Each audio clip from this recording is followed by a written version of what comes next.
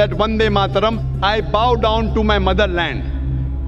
Now, in Hinduism, you worship only Almighty God and no one else. As far as India is concerned, most of us Muslims, we love the country, we respect the country. If required for the truth, we are ready to die for the country, but we will not bow to the country. Is the creator of this country.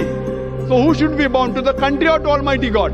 Saudi Arabia is not superior than Allah subhanahu wa ta'ala. Pakistan, the name may be Pak, but it is not superior to Allah subhanahu wa ta'ala. بسم اللہ الرحمن الرحیم، السلام علیکم ناظرین۔ دین دنیا channel میں آپ کو خوش آمدید کہتے ہیں۔ میرا نام سجل یادیو ہے۔ میرا سوال ہے کہ مسلمان جو بھارت میں رہتے ہیں، وہ وندے ماترم کیوں نہیں کہتے؟ اس کی وجہ کیا ہے؟ وندے ماترم تو ایک بے ضرر سا جملہ ہے۔ یہ کہنے میں کسی کو بھلا کیا اعتراض ہو سکتا ہے۔ یہ تو بھارت میں رہنے والوں کی اپنے دیش سے محبت کو ظاہر کرتا ہے۔ کیا مسلمان جو بھارت میں رہتے ہیں، وہ بھارت سے محبت نہیں کرتے، جو وندے ماترم کہنے سے ہچکچاتے ہیں؟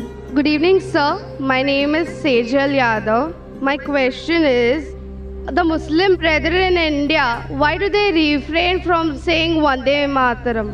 And what is the reason? I mean, Vande Mataram is a thing which uh, symbolizes Indian nationalists and doesn't have a religious identity. Doctor Zakir Naik نے اس سوال کے جواب میں بتایا کہ میں تو آپ سے بھی یہی کہوں گا کہ ہندوؤں کو بھی وندے ماترم نہیں کہنا چاہیے، کیونکہ یہ لفظ ہندو صحیفوں کے خلاف پرچار کرتا ہے۔ ہندو صحیفے کہتے ہیں کہ ہندوؤں کو ایک ہی خدا کی عبادت کرنی چاہیے، خدا کو ایک جاننا اور ماننا چاہیے، خدا کے سوا کسی اور کی عبادت نہیں کرنی چاہیے۔ وندے ماترم ایک گانا ہے، جس میں کئی مرتبہ کہا جاتا ہے کہ میں اپنی دھرتی ماں کے سامنے جھکتا ہوں۔ ہندوازم میں تو بتایا گیا کہ ہندوؤں کو صرف ایک اور صرف ایک خدا کی عبادت کرنی چاہیے۔ اور کسی کی نہیں خدا اس ملک کا بھی خالق ہے اگر آپ خالق کو چھوڑ کر تخلیق کی پوجا کرنے لگیں تو کہاں کی عقل مندی ہوئی I gave you quotations from Upanishad, from Veda, that Almighty God should worship Him alone and no one else. He has got no images. Now, Vande Mataram is a song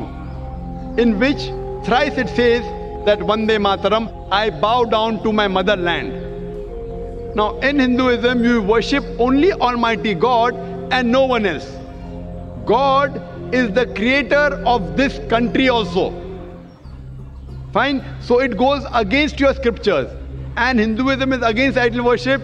Hinduism says you bow down only to Almighty God and no one else. You worship Him alone, no one else. So, besides Muslim, first I would like to say it goes against the Hindu scriptures. Doctor Zakir Naik نے سجل یادیو کو بتایا کہ ہندو صحیفے کہتے ہیں کہ بتوں کی پوجا نہیں کرنی چاہیے، خدا کے سوا کسی اور کے آگے نہیں جھکنا چاہیے۔ تو مسلمانوں کی بات تو چھوڑیں، یہ تو ہندو صحیفوں کی تعلیمات کے خلاف ہے۔ آپ کسی بھی ہندو اسکالر سے پوچھیں تو وہ آپ کو بتائے گا کہ یہ صحیفوں کی تعلیمات کے خلاف ہے۔ جہاں تک مسلمانوں کا تعلق ہے تو یہ قرآن پاک کی تعلیمات کے منافی ہے۔ کیونکہ اسلام میں ہم صرف اور صرف ایک خدا کی عبادت کرتے ہیں۔ اور کسی کی نہیں۔ بھارت میں رہنے والے مسلمان بھارت سے محبت کرتے ہیں۔ انسان جہاں رہتا ہے، اس جگہ سے بھی اسے محبت ہو جاتی ہے۔ مسلمان بھی بھارتی شہری ہونے کے ناطے بھارت کی عزت اور احترام میں کوئی کمی نہیں آنے دیتے۔ مگر جہاں مذہب کی بات آ جائے، ایمان کی بات آ جائے، تو لازمی بات ہے کہ دنیا پر آخرت کو ترجیح دینی چاہیے۔ مسلمان بھارت میں رہتے ہیں تو بھارت کے قوانین بھی مانتے ہیں۔ جب تک بھارت کے قوانین ان کو شرعی قوانین کے خلاف جانے پر مجبور نہ کریں، حکومت کا ہر حکم ماننا چاہیے۔ بلکہ بھارت ہی نہیں نہیں بلکہ دنیا کے کسی بھی ملک میں مسلمان بستے ہیں انہیں چاہیے کہ اس ملک کے تمام قوانین کی پابندی کریں۔ لیکن اگر وہاں کی حکومت کہے کہ نماز نہ پڑھو تو پھر یہ ماننے کی ضرورت ہرگز نہیں۔ جب حکم ہے کہ خدا کی پوجا کرنی ہے تو پھر خدا کی ہی کرنی ہے۔ اس کی بنائی کسی چیز کی نہیں۔ You ask any Hindu scholar, if you ask a layman or a lay woman who's unaware of the Hindu scriptures, they may not know it goes against. Coming to nationality, I'll tell you afterwards. As far as Muslims are concerned, again this verse, Vande Mataram, it goes even against the Quran. Because in Islam, we worship only Almighty God and no one else. And this country, this country, India, we Muslims, we love the country, we respect the country.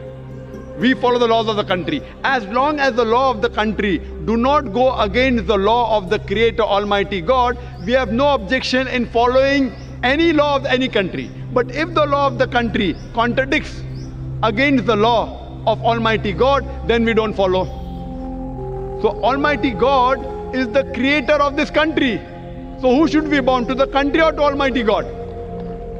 As far as India is concerned, most of us Muslims, we love the country, We respect the country.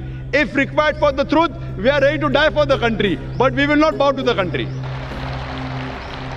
Doctor Zakir Naik نے اس لڑکی کو بتایا کہ اگر کوئی سعودی عرب میں رہتا ہے تو وہ کبھی سعودی عرب کی پوجا نہیں کرے گا۔ کوئی پاکستان میں رہتا ہے تو وہ پاکستان کی پوجا نہیں کرے گا۔ کوئی بنگلہ دیش میں رہتا ہے تو بنگلہ دیش کی پوجا نہیں کرے گا۔ یہ مت سوچے کہ صرف بھارت میں رہنے والے مسلمان ہی بھارت کے سامنے جھکنے سے کتراتے ہیں۔ دنیا کے کسی بھی ملک میں چلے جائیں، کہیں بھی مسلمان اس ملک کو سجدہ نہیں کرتا۔ سعودی عرب اللہ تعالیٰ سے بڑا نہیں ہے۔ پاکستان کے نام میں بے شک پاک آتا ہے، مگر یہ اللہ تعالیٰ سے بڑا نہیں۔ Don't think this is only by Indian Muslims. In Saudi Arabia, a Saudi will never bow down to Saudi Arabia. In Pakistan, a Pakistani Muslim will never bow down to Pakistan. It is not a special law for India because Saudi Arabia is not superior than Allah subhanahu wa ta'ala. Pakistan, the name may be Pak, but it is not superior to Allah subhanahu wa ta'ala.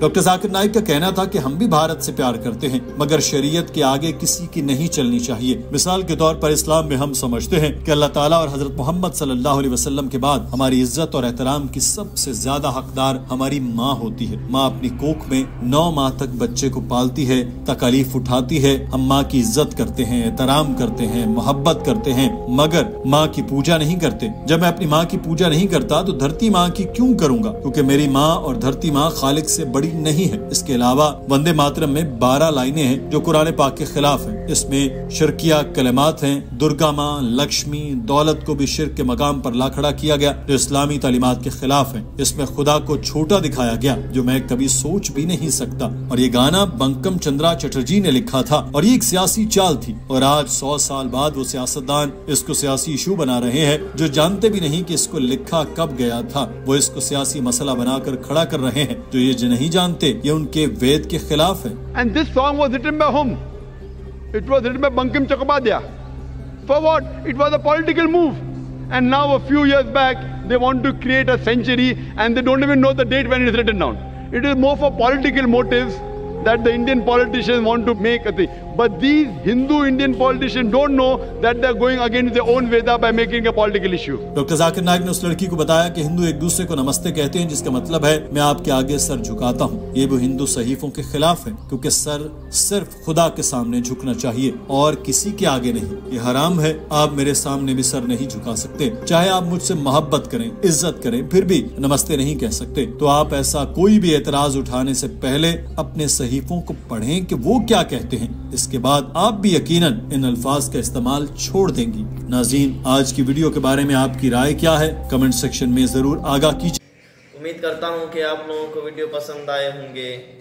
اگر video پسند آئے تو video کو like, share اور channel کو subscribe کر دیں تاکہ ایسے ہی مزید ویڈیو آپ تک بآسانی پہنچتا رہے۔ تو ملتے ہیں اگلی ویڈیو میں۔ والسلام علیکم۔